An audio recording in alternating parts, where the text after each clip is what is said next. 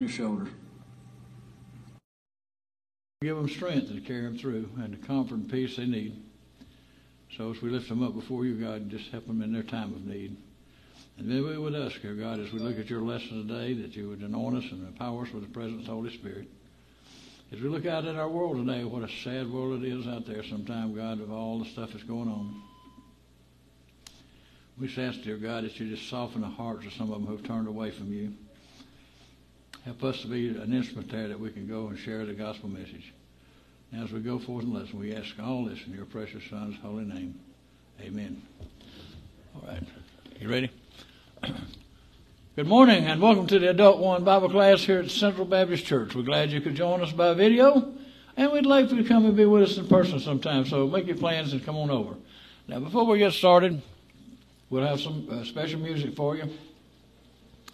And then we'll be looking at our lesson today in Samuel, 1 Samuel chapter 25. We're going to talk about a, a lady of wisdom. So, um, as we get ready, we'll say, Harold, you want to sing first, you said? All right, Harold Skelton, uh, will come and bring us a blessing and song.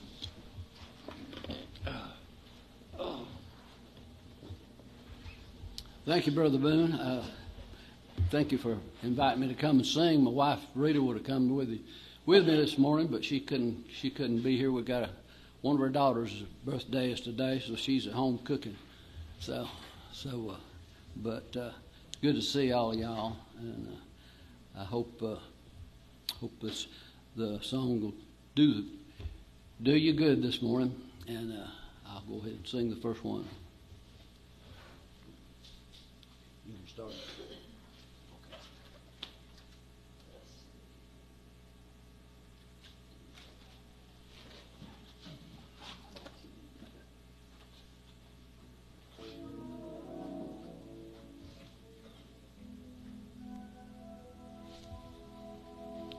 Is not this the land of Beulah? Blessed, blessed land of light, where the flowers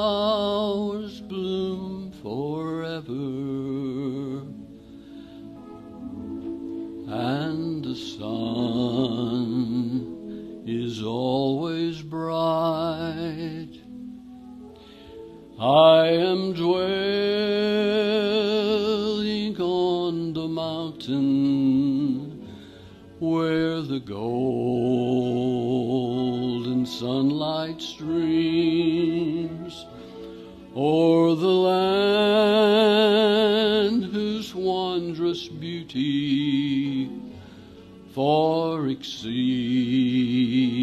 my fondest dreams, where the air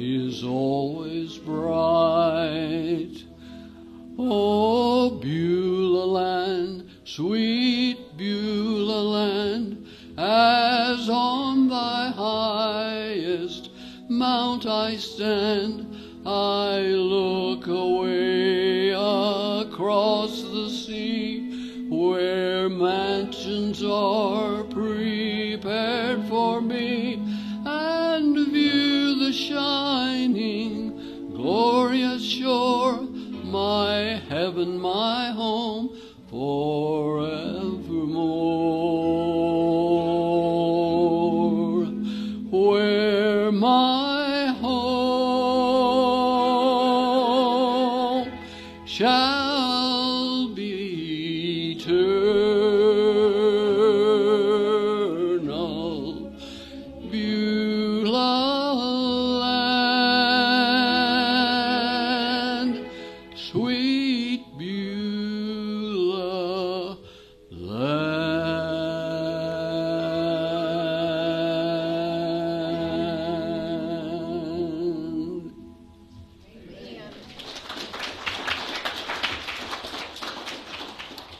Thank you very much. Uh, The, uh, that's a, about four arrangements that Squire Parsons put together. This other one I'm going to try to do is uh, Where No One Stands Alone.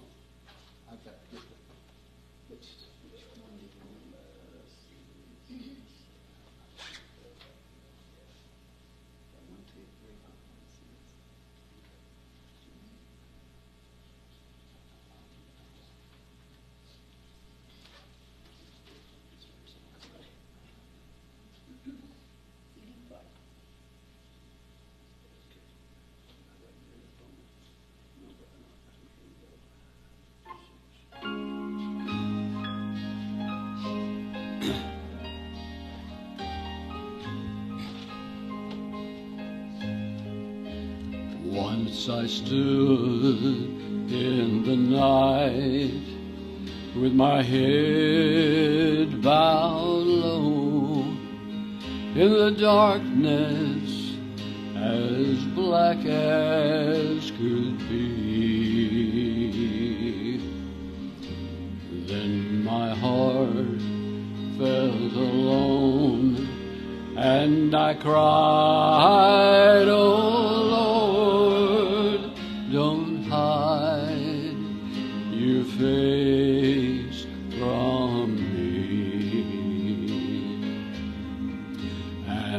like a king, I may live in a palace so tall with great riches to call my own.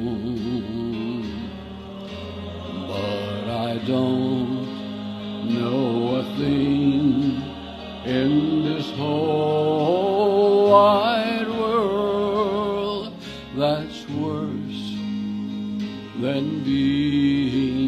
alone. Hold my hand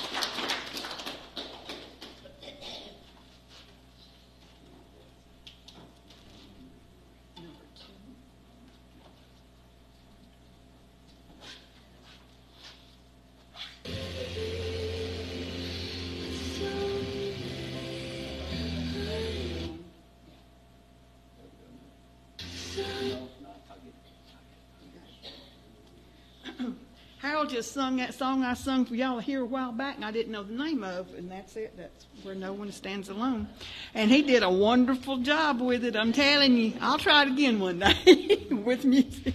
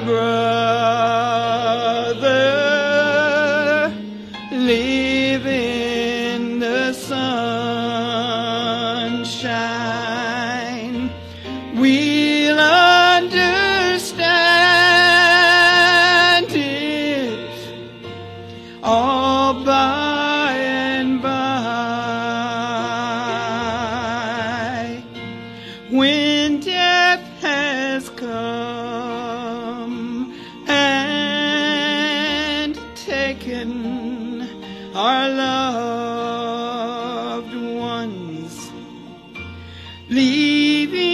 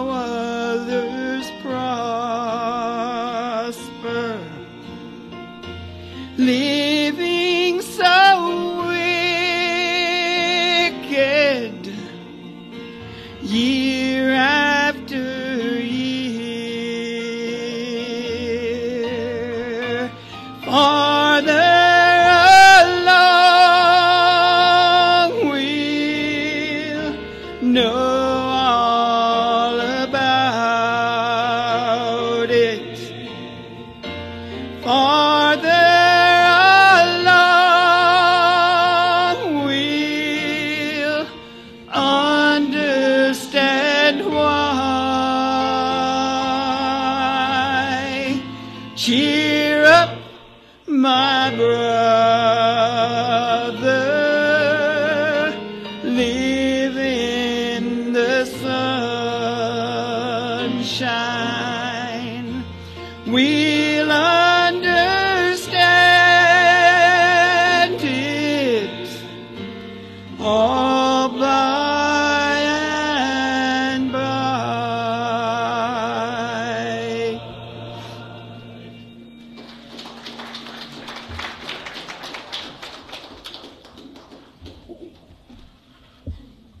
you've been blessed today. How about y'all? You think so?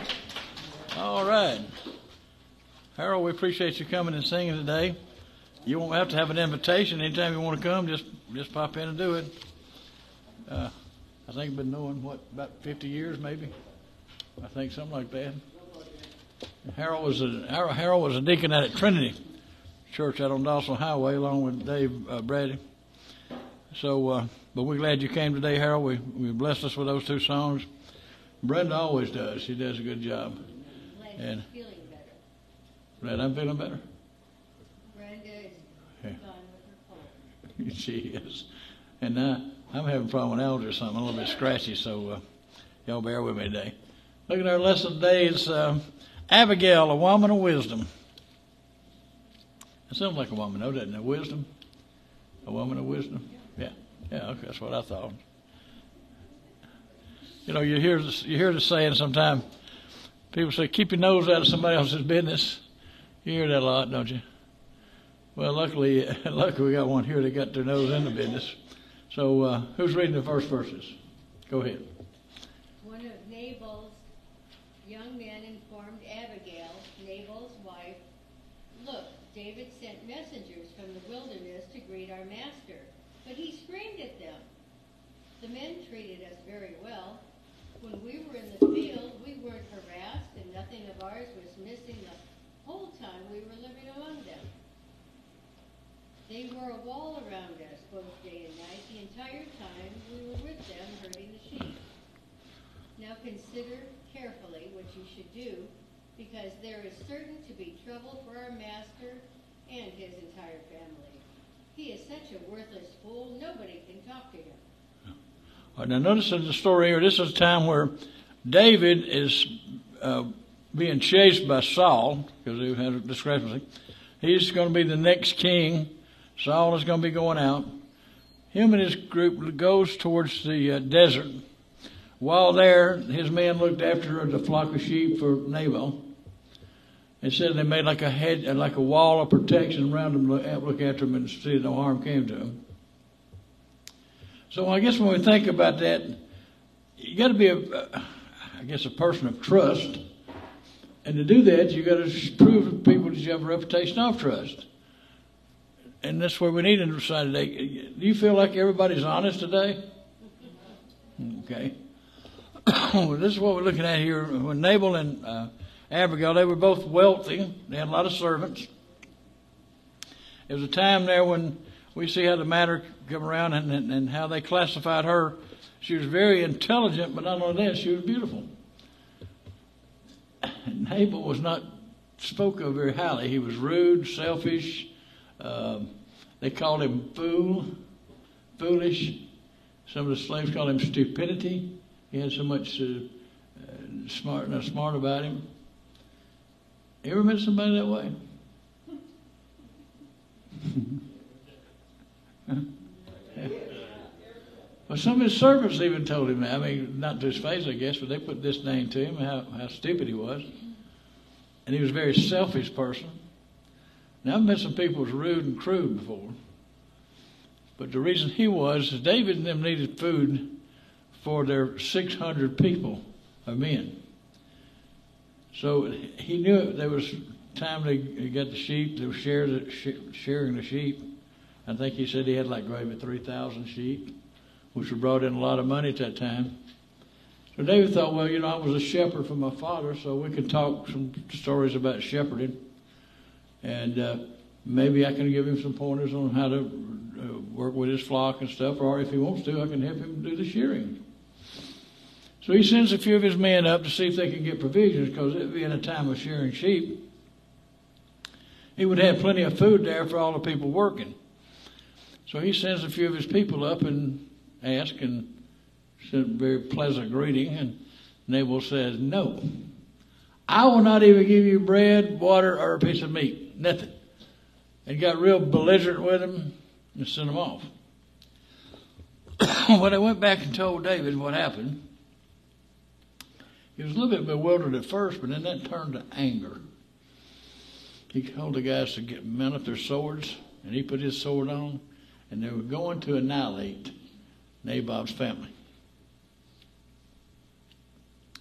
One of the servants in the family came and talked to Abigail and told her what was happening. Said, You're a man of reason, and Nabal's not. You know, something's going to have to be done, or he's going to kill all, all the whole uh, household, the family. And so we see the surprise there how to stop a situation and how the trouble was coming. The entire family was uh, somewhat in trouble now at this time. He was an honest man, and so we're seeing how the situation come about. Would she listen? See, Nabal said that David was lying, his character was, but if you look at how he revealed that, nobody trusted Nabal. He was an untrusted man.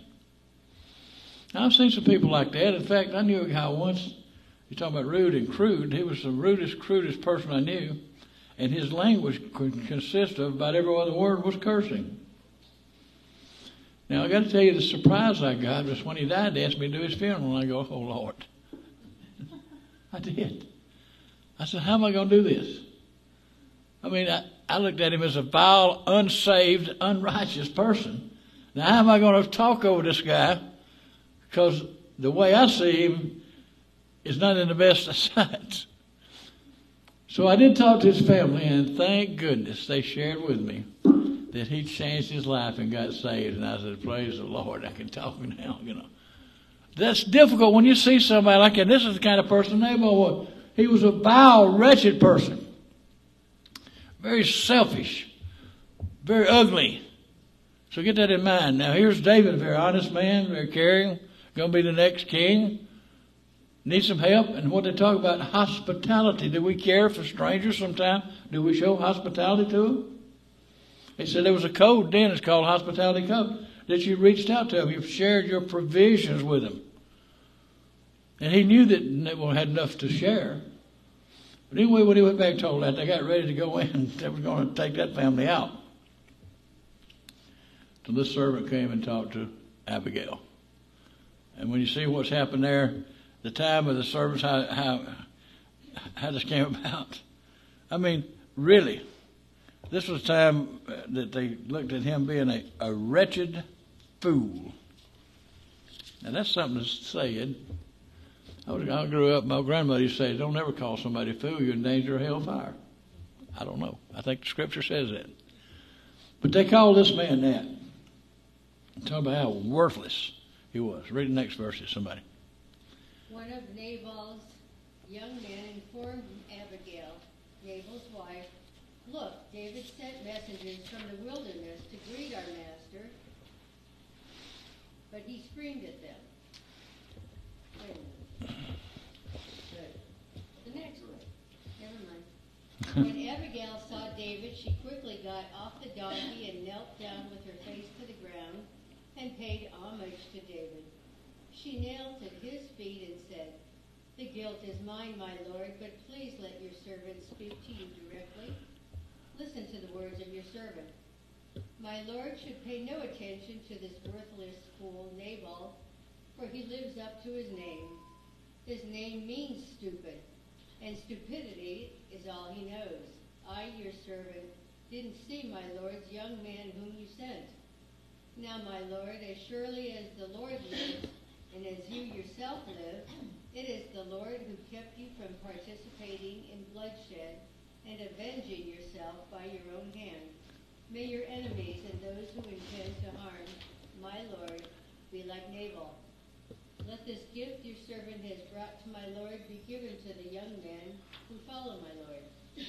Please forgive your servant's offense, for the Lord is certain to make a lasting dynasty for my Lord, because he fights the Lord's battles.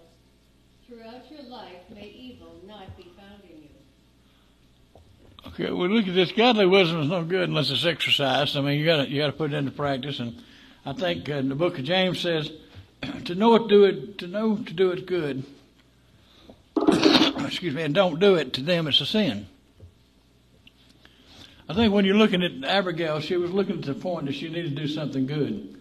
I think had she heard the conversation when the servant came to ask for food, it would have been a different situation. You know, when you look at when you look at the situation, most men probably would be not as ugly as he was, but would probably be a non-caring. That the the wife or the lady of the house would be more concerned with compassion than the guy would, and she had compassion on that. She knew she knew that she needed to step up and do something.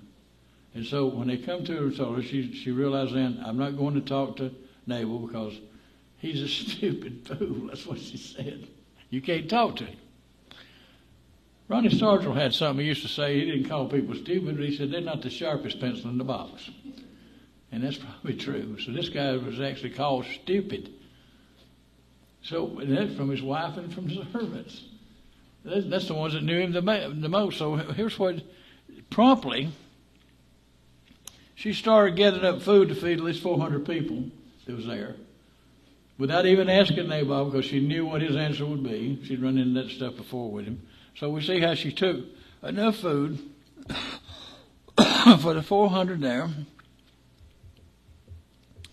And uh, she was not afraid. Now, think about this. Here's a lady loading up enough food to feed 400 people, carries it to a group of 400 guys armed with swords, but she didn't seem to be afraid. You see, the Lord was with her because she was doing what was right in the sight of God. And she realized that when she went. And so, what you're looking at the sacrifice she made, the claim that she had, the responsibility she took on herself. she wasn't without fault. So we see a claim here. First of all, she admitted the guilt. I, I mean, the, the of being the, the one that's guilty of, of turning away. Or she said, "I'll own up to it. I'm the one." Well, he knew better than that. It wasn't her, but she was accepting the blame. Well, sometimes when you're trying to reconcile with somebody, it's better, first of all, if you can admit that you're wrong. If you can admit that, then you can get to, to, to temperature down a little bit. And said when she said that, David's anger kind of left. He wasn't as angry as he was before. It kind of gave him a calming feel. Now, I don't know if you ever had somebody that's upset with you and you had to go and apologize to them. You saw how angry they were to you. But after you apologized, you saw how they calmed down some. And this is what happened here when she told him, first of all, I'm the one. I'm the one that's guilty. And we see the catalyst there has reconciliation. It took in the person here who is sinner. First of all, the case of Nabal, how he had sinned and dealt with the situation in an unfriendly way, and how she demonstrated the humility here. That's that's what we're looking at. David's authority here in the matter, because he's going to be king, so he has authority. And she said, "Listen to the words." And she cut off the, the donkey. and said she fell down on her knees right before his feet to show him uh, homage of his uh, honored position because he still had authority. And she recognized that, and she wanted him to know that she did recognize it. So you see the defending party here, how the, how the reconciliation came about. So we see the servant how making excuses sometimes, that don't help any. We look how it happened here in her case. That she accepted the fault and then as she looked, she had been there with David's servants, talking to them about the situation. But then she looks at her request was only accepting the guilt of responsibility. David knew then the measure of authority where it was and how it's going to be. So he, in turn, talks about the fact there. David still out how he reminded them, in spite of all the circumstances, she reminded him of the situation when he killed Goliath, how Saul had been chasing him. She brought up the thing of how God's protection had been on him. And so we see how the fight was. So David then being a king, he wanted then not to reject the words, but he wanted to accept those. And we see the mighty hand there, the warfare which is shed. And then we look at the allowing emotions. The sin had been forgiven. The consequences. What he said? May your enemies and those who intend to harm my Lord be like Nabal. In other words, she didn't want any harm to come to David because he was going to be the next king and authority. And so when we look at that and try to respect people for who they are, sometimes I'm not so sure we're so disrespectful. We are disrespectful to people sometimes. So she called what she brought him a gift. This is a gift. She didn't go with the first thing and ask for forgiveness. After they had the conversation later, then she asked him to please forgive. Well, then by do, so doing, she saved her family from being annihilated. Now, if you think about that, how many mothers how many women would not want to save their family from being killed? That's what she did. She stepped up to the plate and did some stuff that was terrible. As far as looking at how people would look at what she did, but but also we look at the confession, the grace that was shown, the the blessing. Then she went on to talk to David about the blessing and how God would bless him.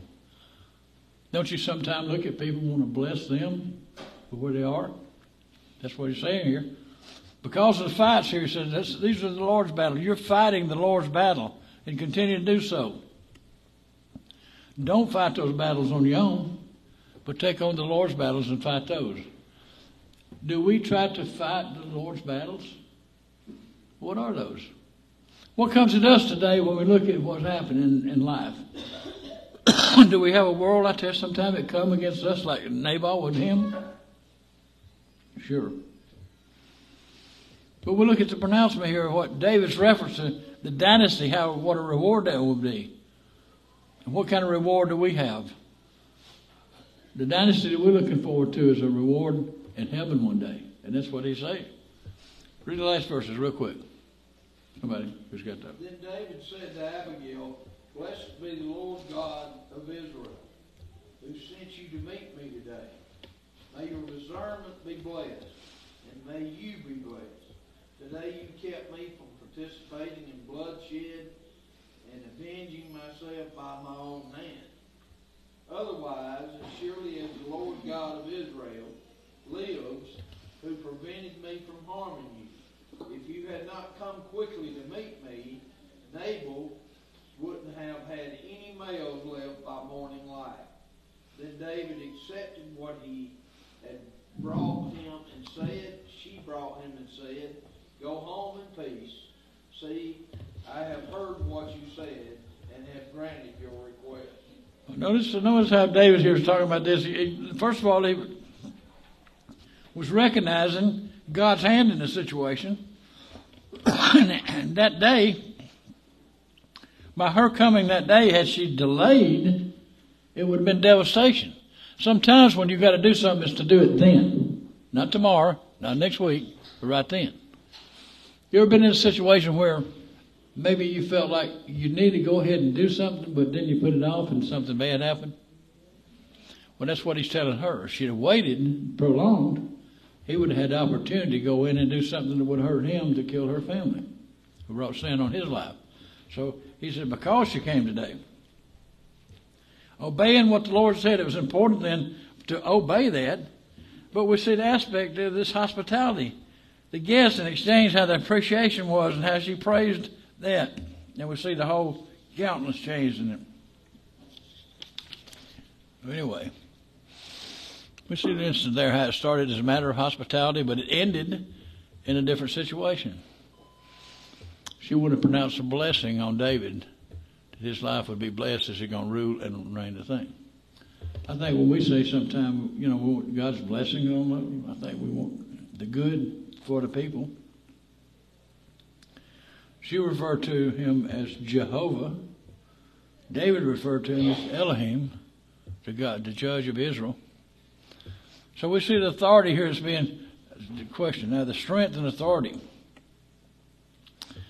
Nabal and his household was under the authority that he could answer and be the judge of Israel. Judgment was on him. So we see the acceptance of Abigail's gift and how it was accepted as a plea. But then we see simply the hearing of what happened. David listened considerably because he listened and heard Abigail's wisdom. he granted her request and he told her to go in peace. He's going to not go bring her any harm. Now, this doesn't give the rest of the story, but I'm going to tell you what happened. Later that day, Nabal had a big party and he got so drunk, it said then his heart just quit. He had a heart attack. And David heard about that. And later he went to see Abigail and took her as his wife. That's how much he liked her, because she was full of intelligence and beauty. And he took her as his wife. Things started off bad for her with this fool that she was married to, but she's wound up marrying the king of time.